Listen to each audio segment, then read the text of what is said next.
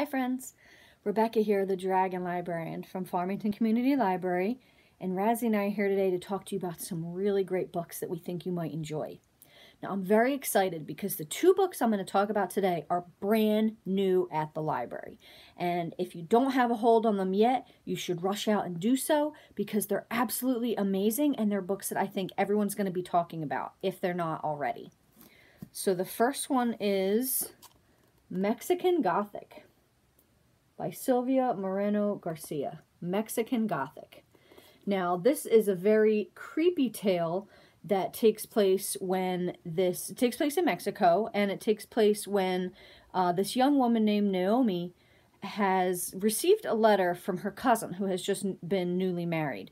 And it seems a little weird. She thinks her cousin might be in trouble. So she goes out to where she's living now, which is in this um, big manor out in the countryside called High, High Place. And she goes there to investigate what's going on because she wants to make sure her cousin is okay. And what she finds out there is just this insidious house with these people that are very weird and strange, and her cousin just seems totally out of it. She's having all these fits.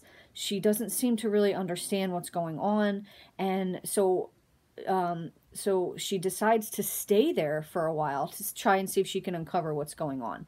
And this book I really liked because I mean it's a it's termed in the genre of gothic horror, because it's very, it's not scary so much as it is just very creepy and disturbing in a thriller sort of way. So if you've seen recently the Netflix movie Rebecca, based on the book by Daphne du Maurier, it's a lot like that. Reminds me of that. Reminds me a little bit of Jane Eyre in that sense too, where just the atmosphere is very insidious and you know something is going on, you don't understand what it is, but you just have to keep reading to find out what is going on with Naomi's cousin? What is going on in this house? Why is everybody so weird? And, you know, the house itself seems to have its own kind of personality, much like uh, Manderley in the um, the book and movie Rebecca. And it's just, it's such a good book. I could not put it down because I was just dying to find out what happened next, and I'm sure that you will as well. That is Mexican Gothic. Next is the brand new Ruth Ware book, One by One. Now, if you're like me and a huge fan of Ruth Ware, you know that her books are just usually unput-downable thrillers. I know unput-downable is not a word, but I like to use it in this case because it totally sums this book up, plus all her other works. If you haven't read anything by her yet, what are you waiting for? Go out and do so because she's a really great writer and she writes these thrillers that are just so amazing and fast paced and exciting. And this one takes place in the French Alps and when and you can kind of get a little bit of a hint of what's going to happen looking at that cover there. See there's this uh, you know avalanche bearing down. And basically what happens in this mountain, it's this fancy French resort and this tech conglomerate company called Snoop um, is there having this meeting. And there's an avalanche, there is an accident, and people start disappearing one by one, hence the title.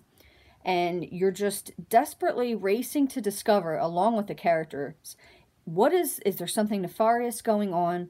What are the actual plans and motivations behind some of these people in this company. What is going on here? What is happening? Is somebody actually killing the other guests?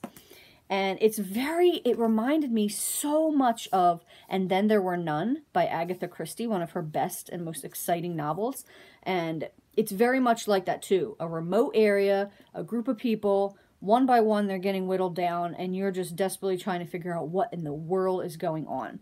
So if you haven't read anything by Ruth Ware yet, now is a great time to start one by one. Um, if you have and you're a big fan of her already, then you already know what you're in store for. Just a really awesome, exciting thriller. And it's a perfect thing to get your mind off of the pandemic and all the other crazy stuff going on right now. So that's One by One by Ruth Ware. Well, I hope that both of these sound really, really exciting to you. Please feel free to put them on hold through the Farmington Community Library. You can come in and actually pick them up or pick them up during our curbside service hours as well. Thank you so much, friends, and have a great rest of the day.